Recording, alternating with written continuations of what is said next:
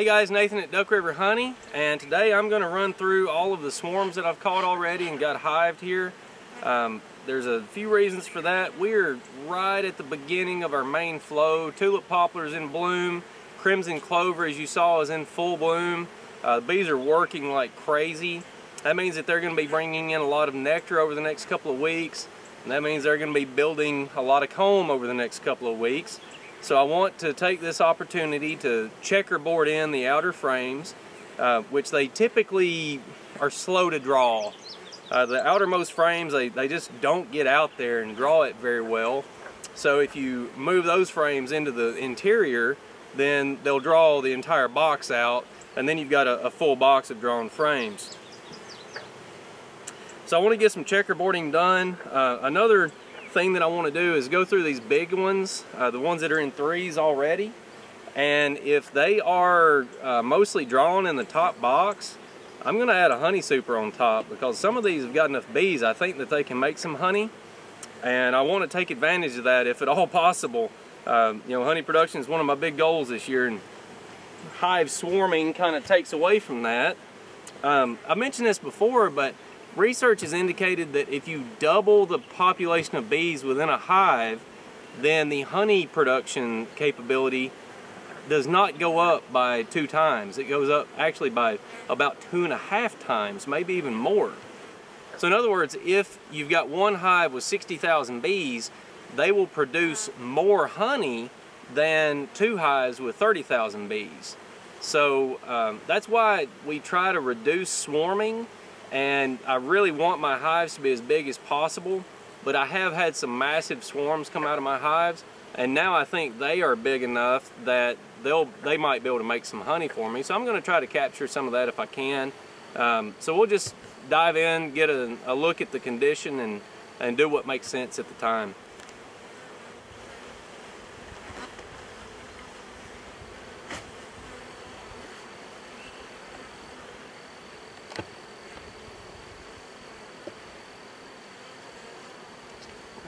bees up here.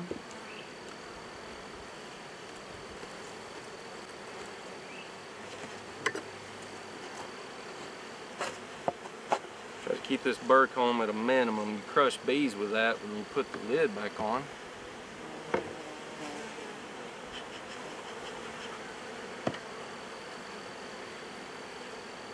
Alright, so looks like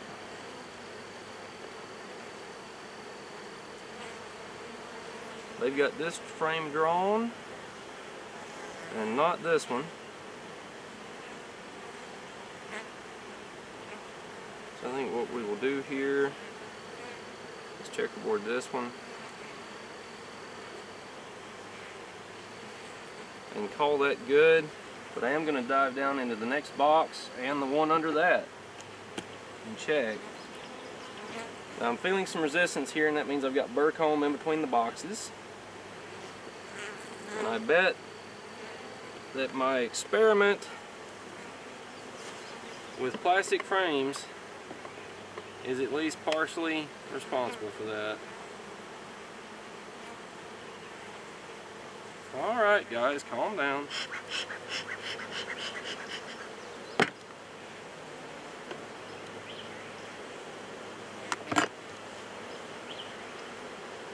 Show you what I mean here.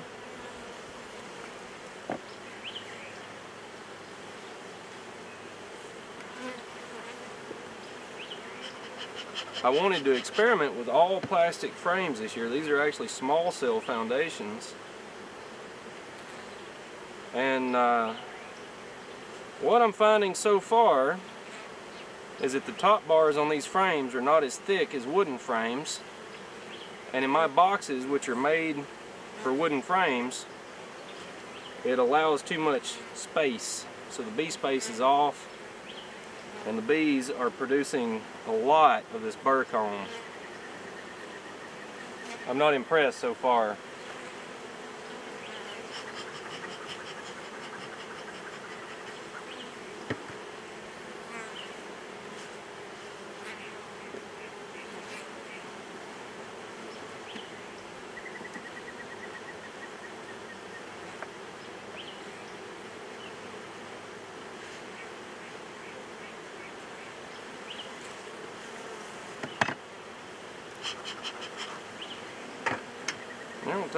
The outer frames on these boxes.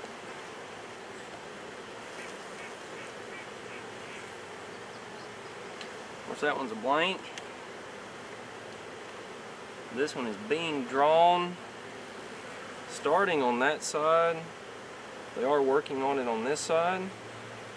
So what I'm going to do is take this next frame, which hopefully does not have brood. Does have a little bit of brood. I don't want to disturb that too much. So I'm going to take this frame, put the drawn portion to the outside, checkerboard in the undrawn frame, and check over here.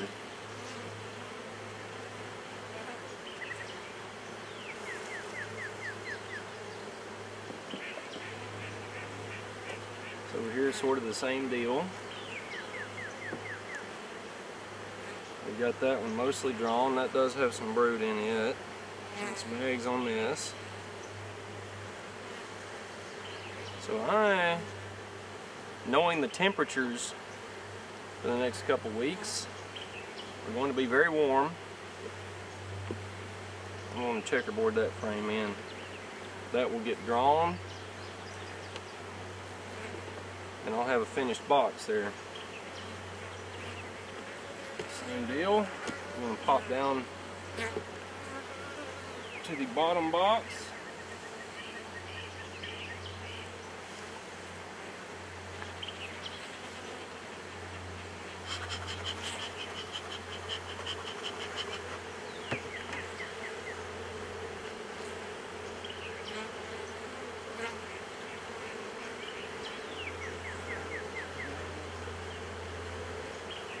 And I will check this outermost frame.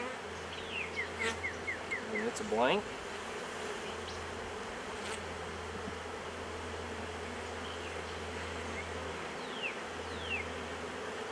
One inboard of it is also a blank. Wow. One inboard of it is also a blank. Okay. They need to do some work in this bottom box.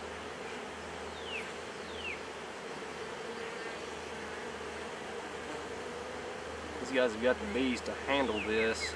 I'm checkerboarding two in over here. They obviously started drawing that frame. They got it about finished. Alright, I'd call them done for now.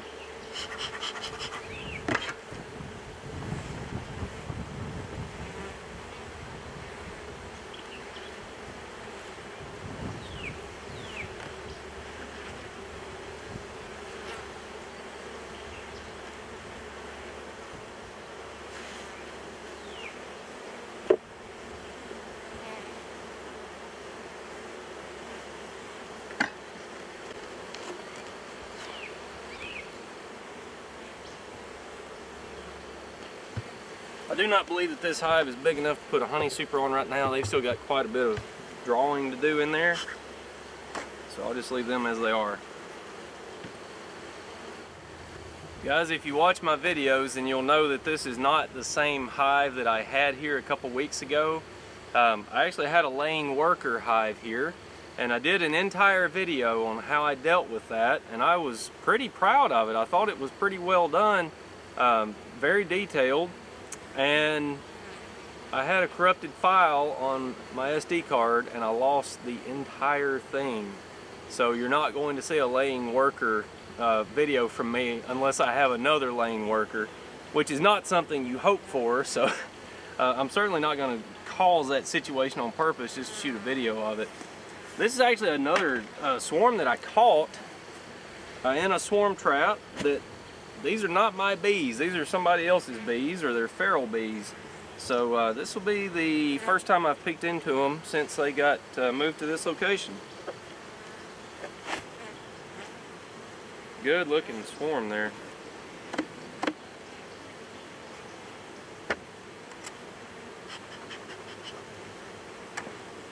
Same kind of deal. I want to see where they're drawing now on these boxes with feeder over here, they typically will draw this frame fairly well.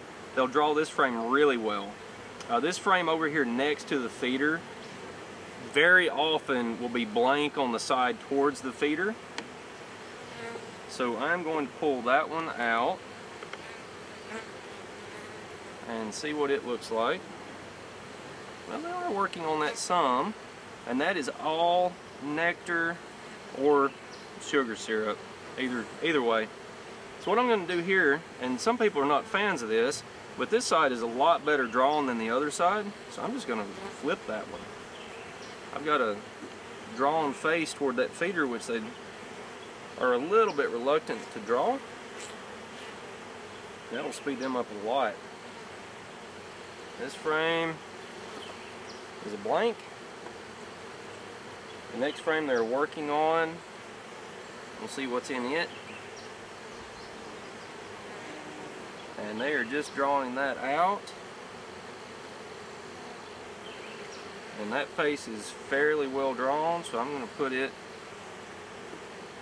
towards the outside. Put the blank in there. They should draw that out pretty well.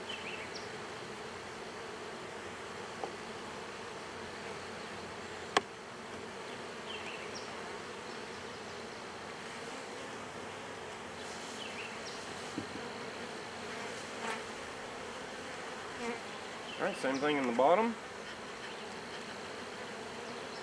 Get some heads down here. I'm betting that this outside frame is blank. It is.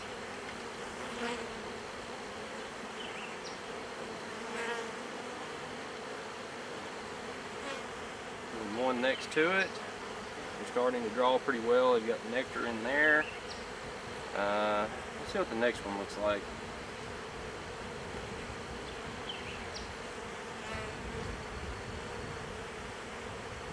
That's a nectar frame.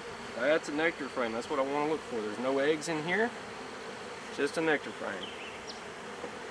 So, I'll put this one on the outside. Putting one that they are working on drawing next to that.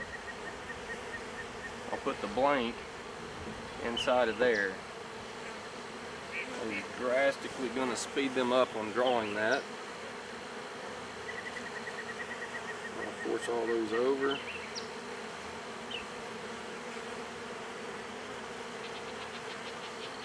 Looks like they may have this outer frame drawn already. Yeah, they do. Okay. That's all I need to see for them. They're in good shape.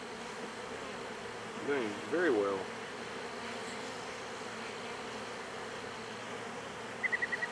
Looks like most of their brood nest, their cluster is here. Um, and then they're working their way over and they've already moved up.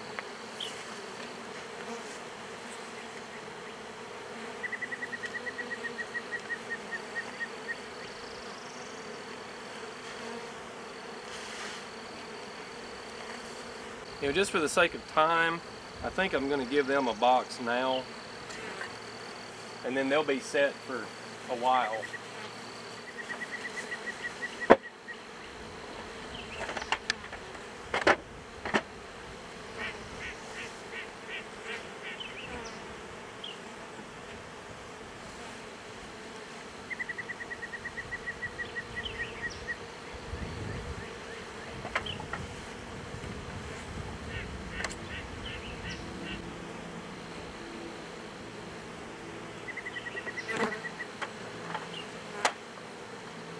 frame in here. Eh. I just put two empty frames in right there.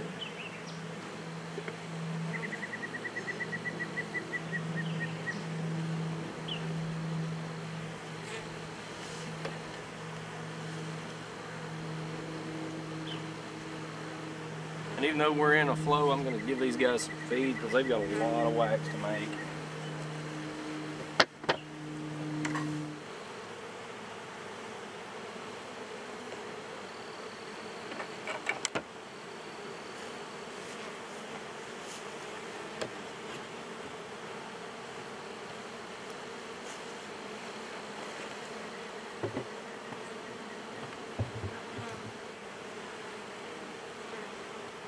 Box of bees there. A lot of bees.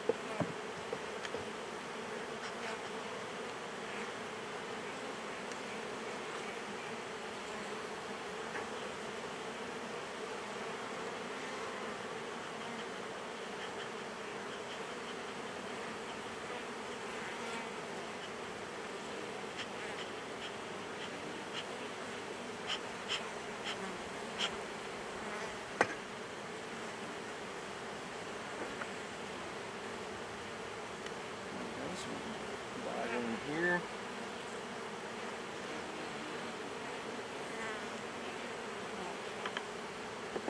Take a look.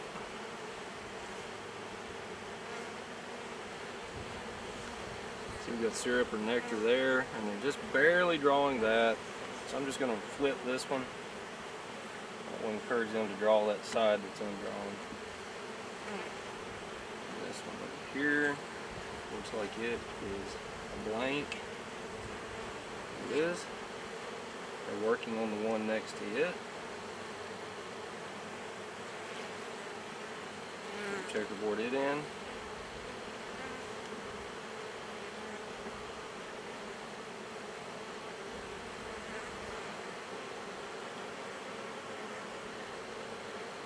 Over here, check real quickly to see if they're queen right.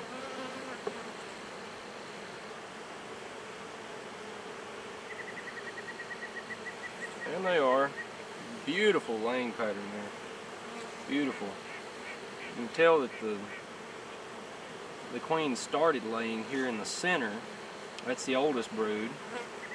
And then she worked her way out. We've got older age class all the way out and then younger. So it's youngest at the very edge, oldest in the middle. That's exactly what you want to see. Beautiful.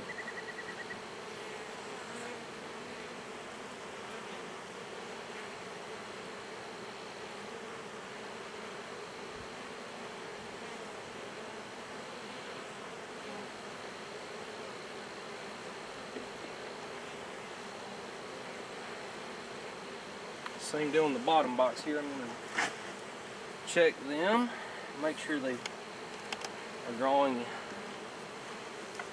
well. And they need a box. There's a lot of bees in this hive. A lot of bees.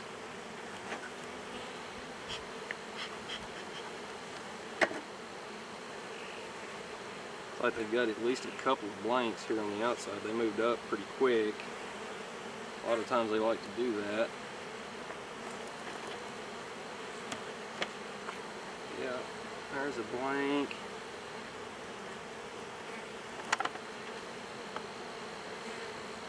Starting to draw this one. So they moved up into that top box very quickly. I'm going to flip that one, put the drawn edge toward the outside. Put a drawn frame next to it. And I'll open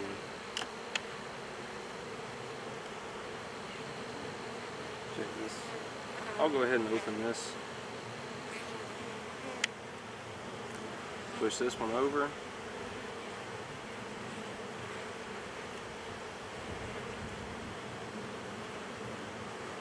Put another frame in.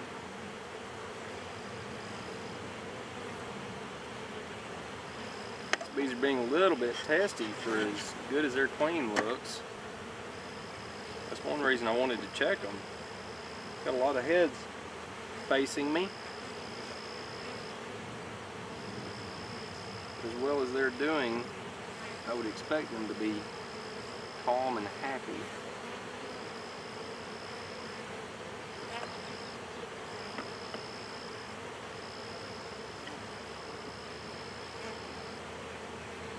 Drawn there, undrawn there. So I'm going to rotate that, flip it 180 degrees, back. Now draw that out. Now I would love it if I don't have to come back into this bottom box and do this again. Some hives you don't, some you do. See how flighty they are? Got a lot of heads looking at me. I believe I'll give them a box too. They're uh, they're pretty pretty big. There's that saying, make hay while the sun shines. Well, in beekeeping, you make comb while the nectar flows. So if you need it drawn, better get it drawn while you can. Because unless you're feeding heavily, it's really hard to get comb drawn. And at certain times of year, you just can't get it drawn.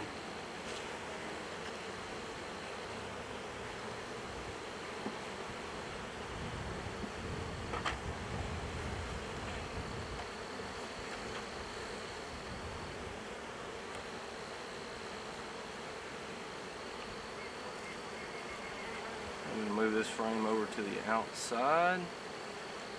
Put an undrawn next to it. Move the rest of these over.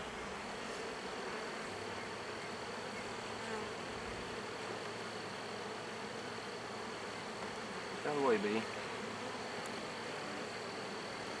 And then drawn there. Get them closed up.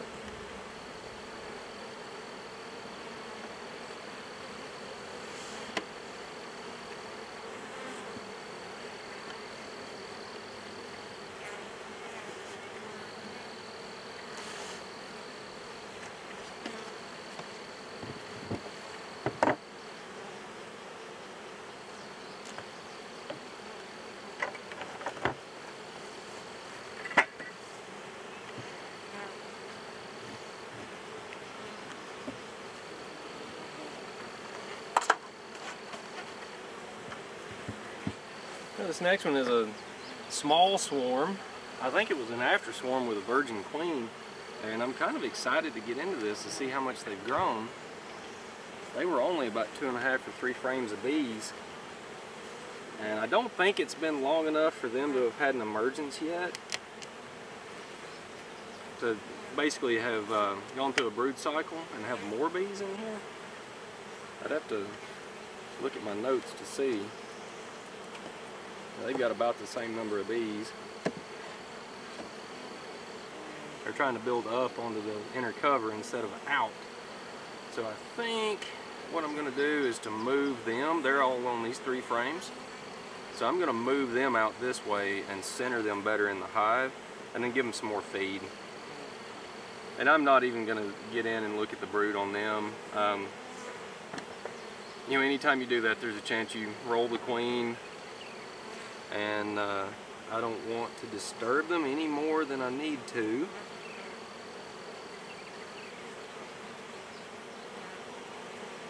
But what I'm doing here is very gentle. I'm not putting foundation in between drawn frames. I don't think they've got the bees for me to do that yet.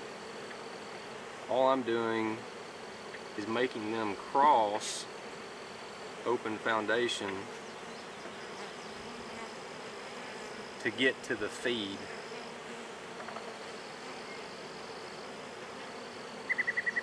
Bees are uh, efficient. And if they can store that food source over here instead of bringing it all the way over here, they'll try to do that. While I'm here, try to remove this burr comb because it does cause you to squish bees.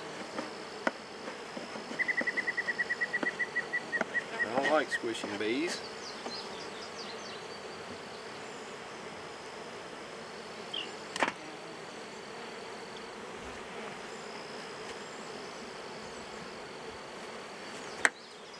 I think in another week or two, this um, this hive will really start taking off. They'll start turning over their population. But you can see how she is, the queen here, it looks great. She's a fantastic looking queen, but she's limited by the bee power that she's got. She's only got two and a half or three frames of bees. That means that she can only lay as much brood as those bees can keep warm. So she can't lay up 10 frames of of brood, she doesn't have the bees to maintain that. So uh, these other hives with bigger swarms are going to be triple, quadruple, five times this one's size. Uh, it's going to take this hive most of the summer to catch up.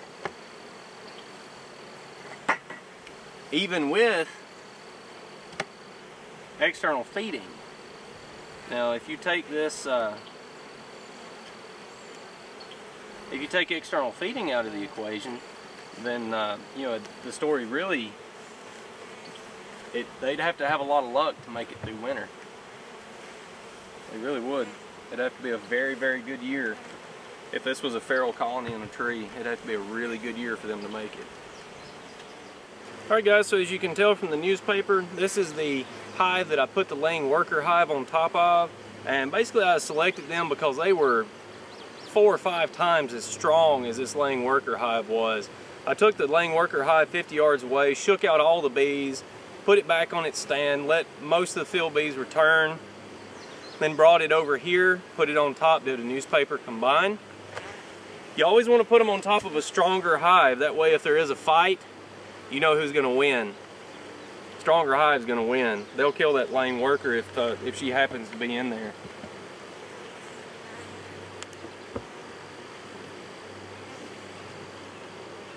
So we'll see what they look like. A lot of bees up here.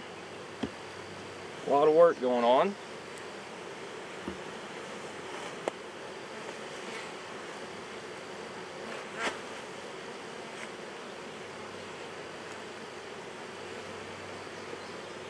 Looks like they are actually drawing this drone comb. I've had trouble getting that drawn. They're drawing this entire box. They're even drawing over to here. Alright. That's awesome. They are building some cross comb. So I'll pull this drone comb out.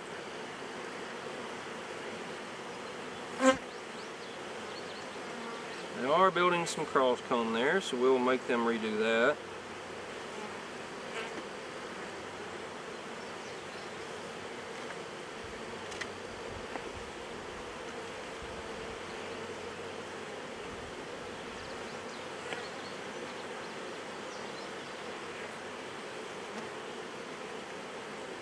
I'll take this checkerboard it in. Hopefully they'll draw it fast enough that they don't think about cross comb and all that.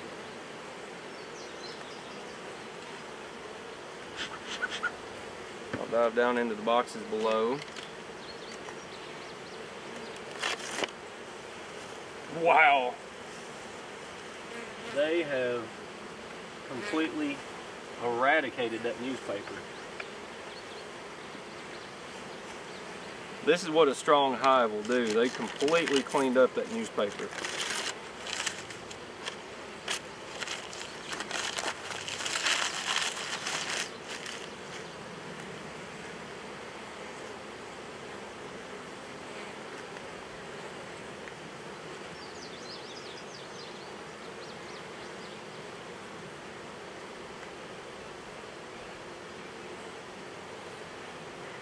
They are actually working on the outer frame there.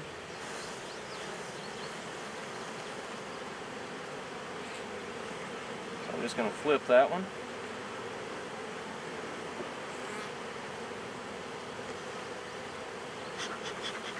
These guys are just massive. This was a huge swarm. They're going to get supered.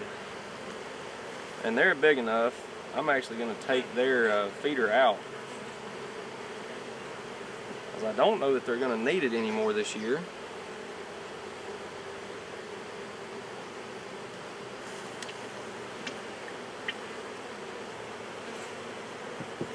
What I'll do is I'll set that right next to the hive, lay it down.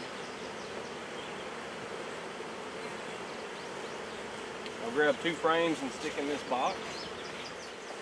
So a couple reasons to remove the feeder. First is I don't think they need it. I'm not going to feed them. I'm going to super them. And I didn't do this with the other hive because they were a little smaller than this one. And I thought that I might need to feed them some more. Push comes to shove, you know. Um, this hive is big enough, I don't think I have to do that. And if you're going to super and try to make honey, well, you may as well do it without a feeder in there because as the bees come in and they come up, they have to come over and around that feeder. So you can often get a dead spot in, in honey production above where that feeder is just because not as many bees are going to it.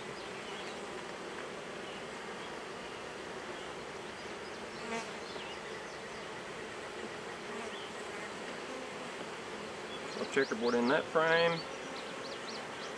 This frame is drawn. Checkerboard in another one here. Uh, it's very likely there could be brood on some of these frames. I am not worried with this hive about checkerboarding in foundation in the middle of the brood.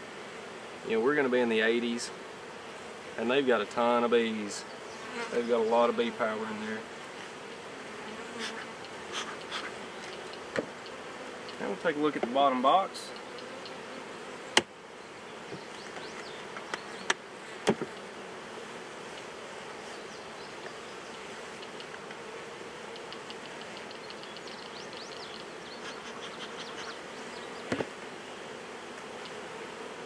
Drawing the outside there. This frame away from the entrance on the far side is usually one that's pretty tough to get drawn. And sure enough, we've got a blank, but the next one there is being drawn on one side. They're festooning there. They're working at it. I'm going to drop this one in the middle. They can handle it.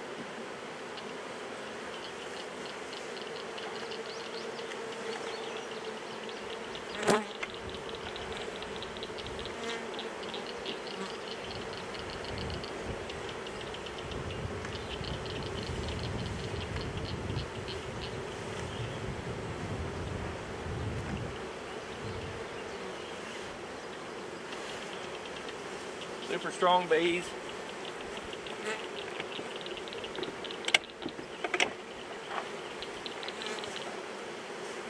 We'll give them a super, see if they do anything with it.